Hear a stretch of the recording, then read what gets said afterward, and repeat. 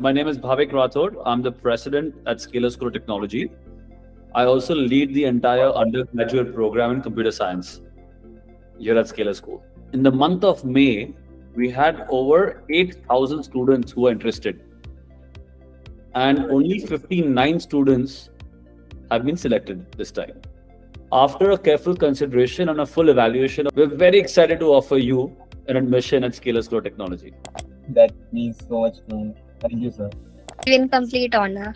Thank you so so much. I was just waiting to hear that. You know, I'm so excited to be a computer science engineer the right way. You know, from Scaler. So I'm super excited to join. So just can't wait to for, for the college session to start. Thank you, sir. Thank you for the offer. Thank you, sir.